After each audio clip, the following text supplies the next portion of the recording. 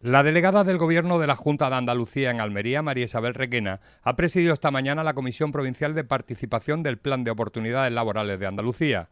en el que están integradas la patronal ASEMPAL, las organizaciones sindicales Comisiones Obreras y UGT, además de representantes de las consejerías de Hacienda y Administración Pública, Educación, Economía, Innovación y Ciencia y Empleo. Durante la reunión, los miembros de la comisión han realizado un seguimiento de este plan que genera más de 480 empleos y han acordado la incorporación del FEI Bla Infante de Agua Dulce a esta iniciativa impulsada por la Junta de Andalucía, con los objetivos de fomentar la creación de empleo, esencialmente entre personas desempleadas de larga duración y con cargas familiares dinamizar la actividad de las pymes de la construcción de la provincia en un momento difícil para el sector y mejorar la red de centros educativos públicos de Almería. Se desarrolla el Plan OLA, que tiene, digamos, que un triple objetivo. En primer lugar, la creación de empleo entre los sectores más afectados por la crisis económica. En segundo lugar, generar actividad en la empresa y, en tercer lugar, mejorar la red de centros públicos de enseñanza. En definitiva, darle un impulso a la calidad de nuestro sistema público de enseñanza.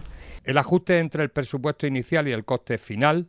de licitación de las obras ha permitido destinar un remanente de casi un millón de euros a la inclusión en el Plan OLA de proyectos de reforma y ampliación del CEIP La Infante. Con la nueva incorporación son 43 centros beneficiados por este programa extraordinario de estímulo económico que contempla una inversión provincial de 17,4 millones de euros y va a permitir ejecutar obras para la eliminación de barreras arquitectónicas, la implantación de tecnologías de la información y la comunicación, la mejora de instalaciones eléctricas y de calefacción o la ampliación de espacio educativo. 27 de las actuaciones incluidas en el plan consisten en reformas de los centros, 14 permitirán la ampliación de otras tantas infraestructuras educativas y dos de los proyectos correspondientes a las nuevas construcciones, el CEI San Bernardo de Adra y el CPR Alcolea Fondón, estos trabajos de mejora, que van a beneficiar a más de 17.000 escolares de la provincia de Almería, se desarrollan mayoritariamente en institutos de enseñanza secundaria y colegios de educación infantil y primaria, aunque también benefician a escuelas infantiles